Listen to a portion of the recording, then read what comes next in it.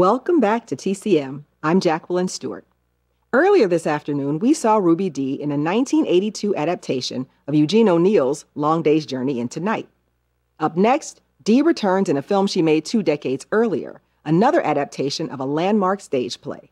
From 1961, co starring Sidney Poitier, it's A Raisin in the Sun. The original play, written by Lorraine Hansberry, opened in 1959 and made history as the first play by a black woman produced on Broadway. Both Ruby Dee and Sidney Poitier originated their roles in that stage version. The story centers on the Younger family, led by matriarch Lena Younger, a proud woman who, along with her recently deceased husband, has raised her family in a crowded kitchenette apartment on Chicago's South Side. Her son, Walter Lee, has a wife and young son of his own, and his ambitions for the family conflict with his mother's. The conflict is only heightened when they receive a highly anticipated insurance check for $10,000 and have to decide what to do with the money. From the time he first read Lorraine Hansberry's play, Sidney Poitier was eager to play Walter Lee. I was overwhelmed by the power of the material, he later wrote.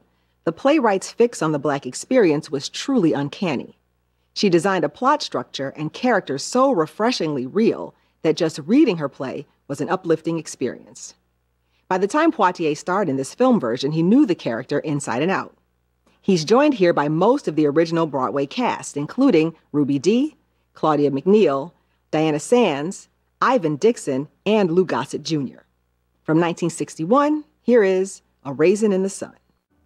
Both Sidney Poitier and Claudia McNeil, who played Lena Younger, earned Tony nominations for originating their roles in the 1959 Broadway production of A Raisin in the Sun. But despite the loving bond between their characters, the two actors were at odds throughout the run of the stage play and during production of the film. The conflict arose from their different ideas about the material. Claudia McNeil felt that the play was ultimately about the mother struggle, while Poitier thought the play only worked if it unfolded from Walter Lee's point of view.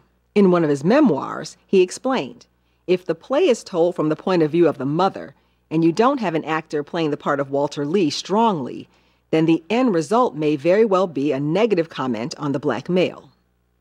In addition to Poitier and McNeil, the cast also included many of the other actors who'd originated their roles on Broadway, including Ivan Dixon, who played Joseph Asagai.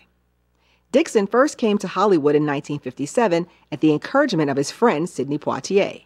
Viewers may best remember him as Kinchloe on the 60s sitcom Hogan's Heroes, and he turned in a stunning performance in Michael Roemer's 1964 drama Nothing But a Man. In the 1970s, Dixon largely focused on directing for film and television. Poitier later said Dixon was, quote, a truly talented actor whose potential was never realized. Up next, Sidney Poitier returns in one of his most memorable roles an Oscar winning drama from 1967, co starring Rod Steiger.